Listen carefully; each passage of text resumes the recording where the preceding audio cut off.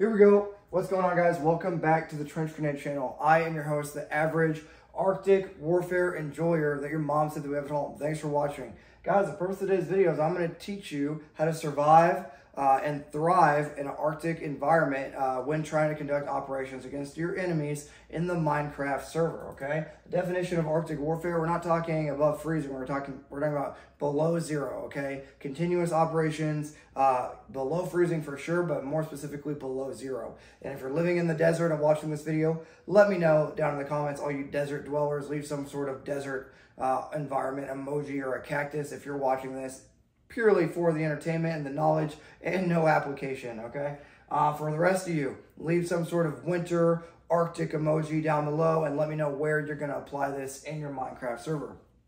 Real quick, guys, Patreon. It's $5 a month. It gets you access to our Discord server where you can stay up late with all the boys and talk about, and me, and talk about all your favorite Arctic uh, warfare strategies, okay? Um, Guys, it's less than a cup of coffee a month. It's five bucks. Consider going over there, helping out the channel if you want to continue seeing stuff like this and range content. Um, Instagram, it's a thing. It's where I lift weights. Head on over to the Instagram channel. Check it out. It's where I post some behind the scenes stuff.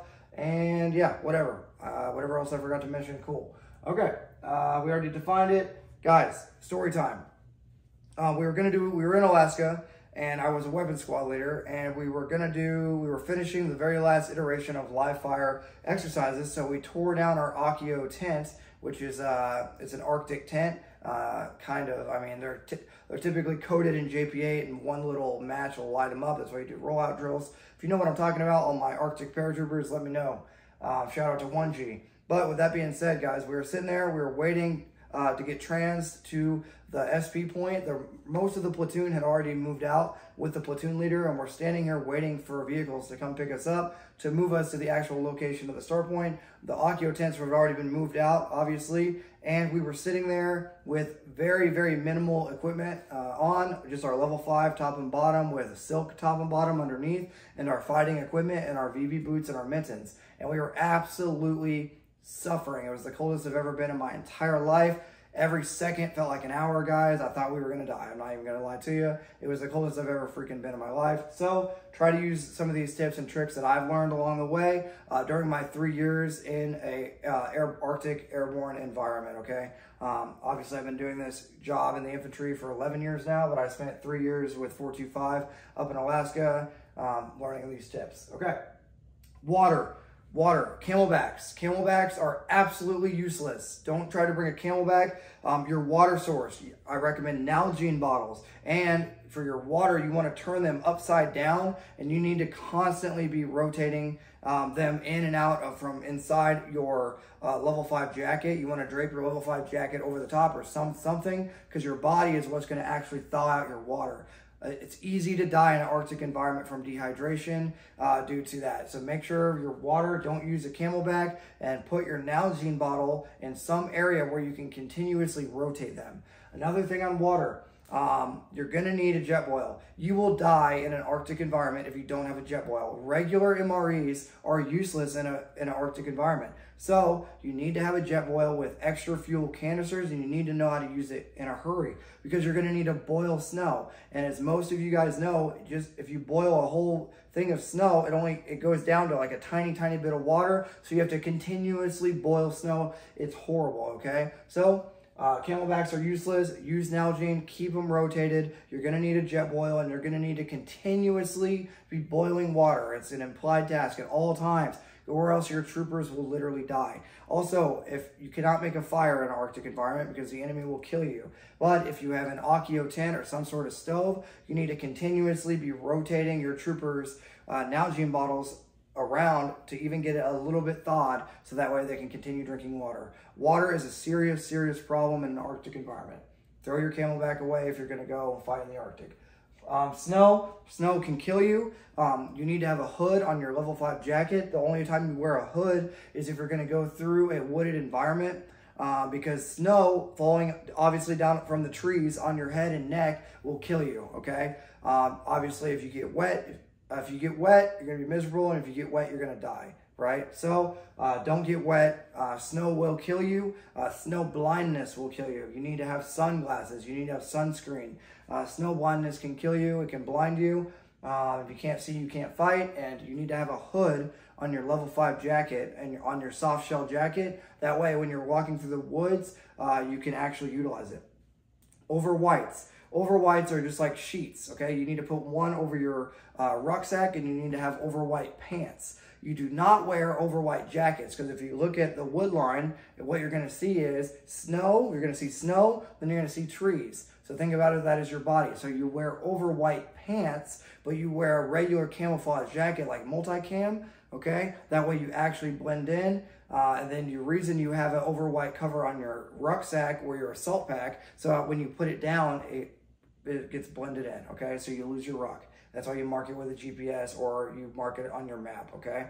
Um, guys, I'm just throwing a ton of information at you, at you. If you think this information is worth $5 a month, consider becoming a member of the Patreon so I can get you in the Discord. Okay, um, yeah, so that's the use of over whites. Uh, anyone who's done this job for a minute knows that over whites very quickly turn into over yellows, okay? Because uh, in an Arctic environment, you don't want to spend long uh, urinating, okay? So it's disgusting, I get it, but don't don't go out there and try to buy the most expensive over whites. Just get some cheapo uh, Army surplus ones because you're going to be literally peeing on them and you're going to waste money, okay? Um, been there, done that. Fuel. Fuel, uh, fuel is the key to survival, but here's the thing. Fuel freezes at a different rate than water. So if you get fuel on you at all, you're going to die. So you need to be very, very careful when you're pouring fuel. If fuel gets on your pants, if it gets on your clothes at all, you cannot be in an Arctic environment. You will die. Fuel does not freeze at the same temperature as water. That means it will physically burn you and kill you, okay? Uh, as it attempts to try to freeze uh, against your body, it's gonna do really, really bad things. So fuel uh, will kill you. You need a ton of it. Um, your fuel canisters for your Jetboil, you need to have extras, okay? I've seen crazy things happen and it's not gonna last as long as you think. And remember, you're gonna need that Jetboil to literally make water and literally regular MREs are useless, so you're going to need to constantly be boiling water for your mountain house meals. It's horrible. Fighting in the Arctic sucks, guys. Um, so fuel. Fuel is extremely dangerous, okay? Do not get it on your body. It will kill you.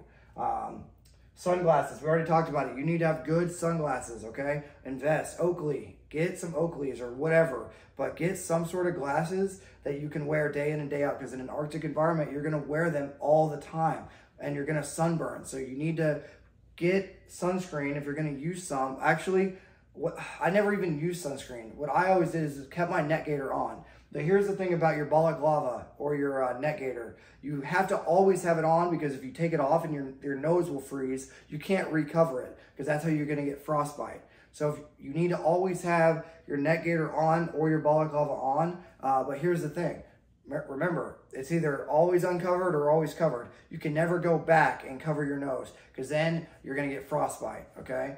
Um, also, when firing your rifle, you need to make sure you don't put your face directly on your weapon because your face, if you look at pictures I probably have on the channel, on the Instagram, my face got frostbite because I put my face in a hurry, boom, on the weapon and it froze okay, repeated contact to that frozen weapon, your face will literally freeze and uh, you'll get frostbite, okay? So you need to always have your balaclava or neck gaiter on or I'm telling you guys, you're gonna die, literally.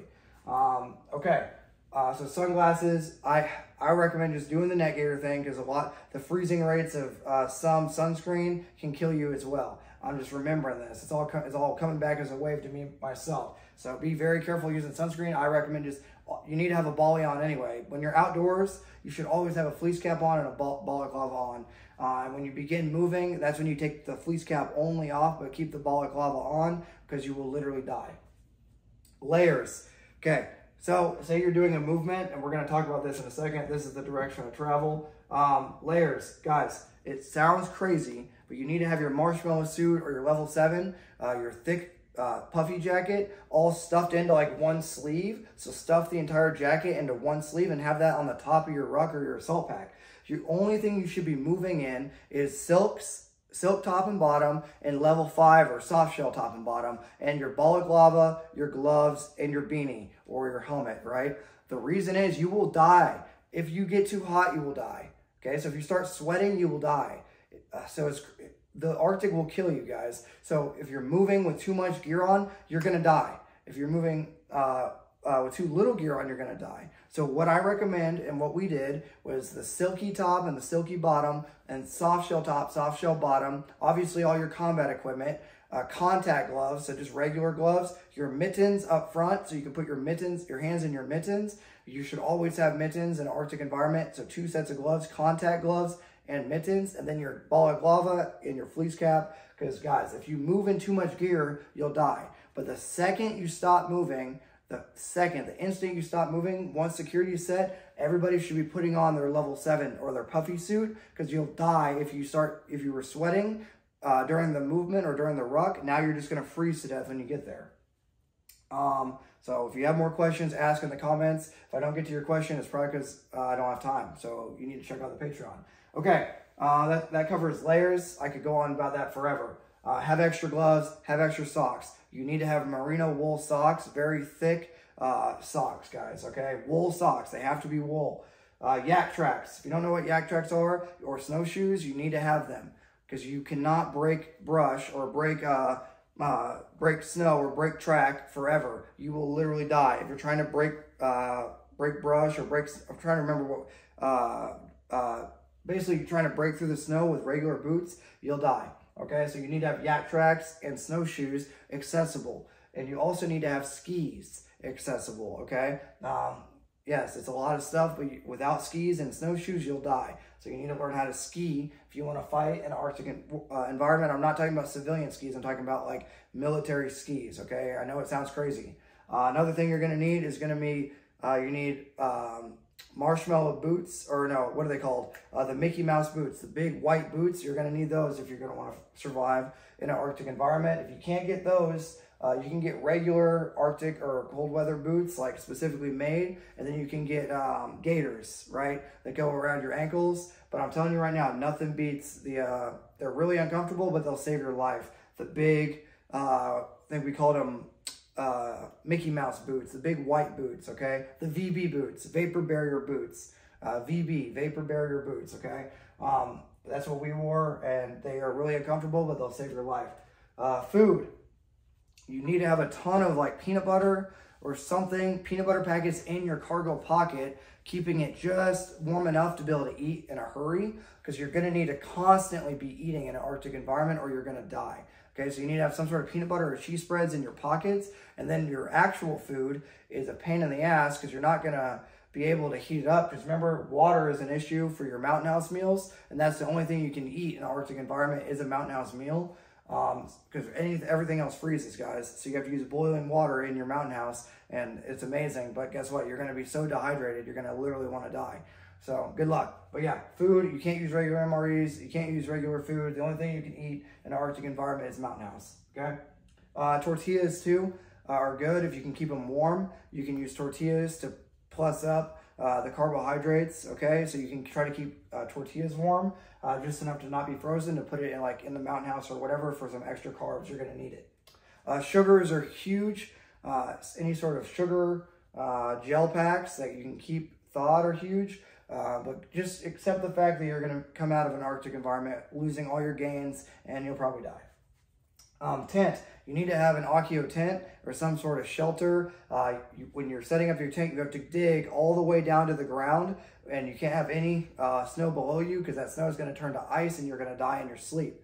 Okay, so you need to have some sort of tent or shelter. I'm not going to go too crazy into the tent and shelter because that's a whole nother video, but just know uh, Ahkios are a pain in the ass. Uh, Arctic tents are a pain in the ass, and uh, just know you have to dig all the way down to the ground. If you even leave a tiny bit of uh, snow, that snow turns to water, and this water turns to ice. And if you're laying on a sheet of ice, which I have done many of times, I'm telling you, you'd rather just be dead. It's so miserable. Your core temperature is going to be so low. You're not going to want to get out of your sleeping bag or your sleep system. And then when you do get out, you're going to be at such a low temperature that if you don't start moving, you're going to die. Um, so just keep that in mind. Shovels, you need to have shovels accessible. Um, weapons, I want to talk about weapons.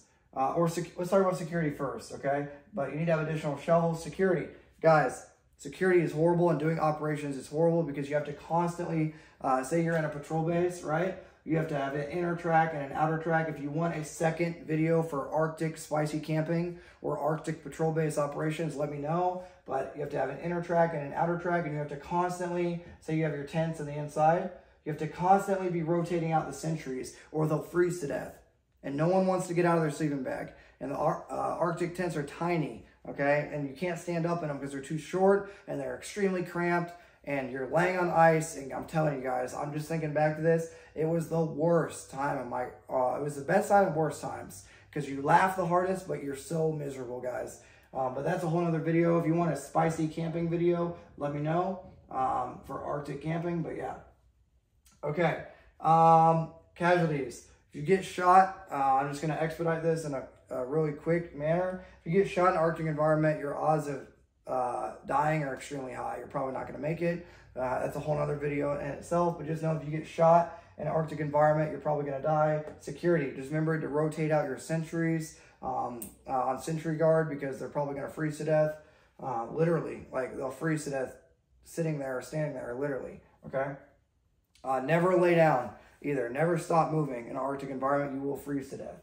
Uh, weapons. Never bring a weapon. Okay, one, your weapons should be completely dry, no CLP at all. If you have any sort of lubricant on your weapon, it's going to freeze solid and be useless. Run your M4 or whatever rifle you're running completely bone dry. If you have LAW, um, it's an Arctic uh, lubricant. If you have some Army uh, Arctic lubricant, also known as LAW, then you can use that. But I always ran my M4 completely bone stock and never had any issues, or bone dry, uh, never had any issues. My ACOG never had any issues surviving. But the EOTechs and the Aimpoints sometimes have issues. The Aimpoints are pretty good, um, but the EOTechs tended to freeze a lot. And then the ACOG uh, was the best in my experience, okay, for as far as optics go. Um, but uh, batteries, dude, batteries are to die so quick. God help you if you have a radio or a Garmin. The batteries are to die so quick and so fast, or it makes technology almost useless. So you're to have to carry a ton of batteries. But just remember, don't bring your weapon inside the tent ever. Never bring your weapon inside the tent. It will physically crack in half from from freezing and unfreezing so frequently and negative 25, negative 20 degree weather. Uh, your weapon will physically fall apart. It will crack in half. Okay, so leave it outside the tent. Um, uh, that's a whole nother video, but leave it outside the tent. Everyone's weapons should be outside the tent, even your handguns. If you if you bring your weapons in and out of the tent, they will break. They will physically crack and break, okay? Uh, and, they, and they'll rust up as well. Like, it's just, leave them outside the tent, okay? Uh, that metal becomes so brittle, it ruins them, okay? So they have to put a uh, line of 550 cord and lean the weapons against the line of 550 cord. If you get under attack, everyone has to run out of the tent and grab their weapons because if you bring them in the tent, they're either going to rust and freeze and then unfreeze and they're going to break or literally become useless based on the amount of rust because the condensation, it's, it's wild. Just leave them outside the tent, trust me. Uh, okay, guys, uh, last thing, if this is your lead team, okay, and this is your trail team, and these are the guys that are, these are the four soldiers that are carrying your Arctic or dragging your Arctic tent. You need to rotate your from your lead, okay? Because these guys are the most tired. These guys are the least tired. So it goes from lead to trail, from trail to dragging, from dragging to lead, and it just constantly rotates. Because if you don't switch out every couple minutes, you're going to burn your people out. And no one ever wants to volunteer to get off dragging the sled, but it's miserable, guys. And again, you're probably going to die. But if you want a longer, more detailed Arctic warfare class, guys, let me know in the comments. Uh, if a few of you guys join the Patreon and go over there and give me $5 a month, I might just make a part two of Arctic warfare considerations.